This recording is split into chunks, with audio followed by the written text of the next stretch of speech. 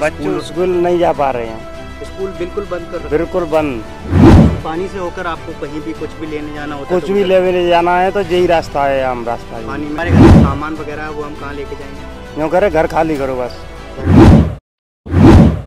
आऊँगा क्या लेके आए? मैं अब सब्ज़ी लेके आऊँ बाहर। सब्ज़ी लेके आए तो हाँ, बार बार जब आपको कोई बाज़ार जाने से कोई चीज़ लेके आनी होती है तो ये इसी तरीके से गुजरना पड़ता है या कोई और मार्ग भी है? नहीं जाई रास्ता से ज़्यादा पानी में है। पानी में होके। तकरीबन आगे गाँव में और पानी है क्या? नहीं गाँव में तो कम है गाँव ऊँचा हुआ टीले से पे टीले से पे गाँव है इसलिए। लेकिन ये खेत आसपास के जो खेत हैं वो पूरे जलमग्न हो चुके हैं। हाँ ये खेत और रोड नीचे से पानी भरेगा वो जाम। अच्छा। हाँ। और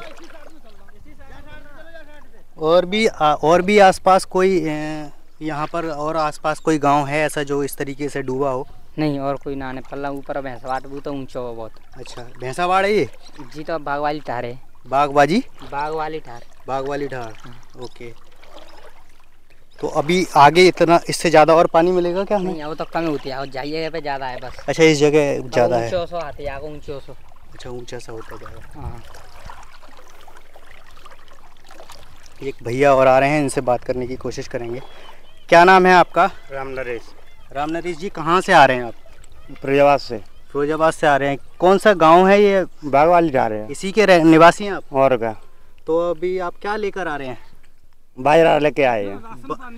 बाजरा लेके आए हैं? हाँ।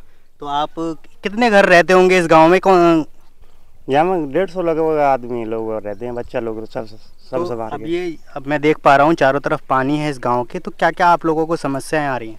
समस्या से हल है जी पानी नहीं हो रहा है। पानी में क्या क्या समस्याएँ आ रही हैं? आपको गाँव में आने जाने में क्या क्या दिक्कतें हो रही हैं? और कोई मार्ग है या केवल यही मार्ग यही मार्ग है हमारे लिए। तो इसी पानी से होकर आपको कहीं भी कुछ भी लेने जाना होता है कुछ तो भी लेने जाना है तो यही रास्ता है आम रास्ता पानी में डूबते हुए और क्या? लेके जाना पड़ता है। और क्या? बच्चों का हाँ बच्चों का क्या है? बच्चे बच्चे स्कूल स्कूल नहीं जा पा रहे हैं। स्कूल बिल्कुल बंद कर रखे बिल्कुल बंद। और क्या क्या समस्याएँ आ रही हैं? समस्या से रोज़मर्रा के काम कैसे हो पा रहे हैं आपके फिर? काम हो ही नहीं पा रहे हैं। आठ नौ बजे दस बजे निकल पा रहे हैं। अच्छा रात में लाइट वगैरह का क्या लाइट चल रही है? रात में लाइट नहीं चल रही। पानी की क्या समस्या है? पानी आ रहा है प्रॉपर? पानी? हाँ। पीने पीने वाला वाला पानी। पानी आ रहा है मतलब ये दिन में लाइट दे देते हैं। दिन में लाइट आ रही है रात में लाइट काट देते हैं। हाँ रात में काट देते हैं। कोई प्रशासन से आया हो यहाँ गाँव में सर्वे देखने गाँव के हालात को? कल ले आए थे। तो क्या आश्वासन देखे गए? यूँ कह रहे कि घर खाली करो। घर खाली करने हाँ। तो मतलब यानी कि ये पानी और बढ़ सकता है क्या? पानी बढ़ चेतावनी दे के गए हाँ पानी बढ़ेगी चेतावनी दे के गए थे तो आप देख रहे हैं आज पानी ज़्यादा है या कल ज़्यादा था? कल कम था आज ज़्यादा है गया आज है। और ज़्यादा पानी कितना फुट और ज़्यादा पानी हो गया है? आज कम से कम डेढ़ फुट पानी बढ़ गया है। डेढ़ फुट पानी और बढ़ गया। हाँ। तो आप लोग क्या प्रशासन ने जो कह के गए हैं कि घर खाली करो तो आप लोग घर खाली कर रहे हैं या नहीं? घर खाली कर दे हैं पर अब कहाँ ले जाएँगे बात सामान को हम? सामान रखने का है झुग्गी का है कहूँ जगह हो।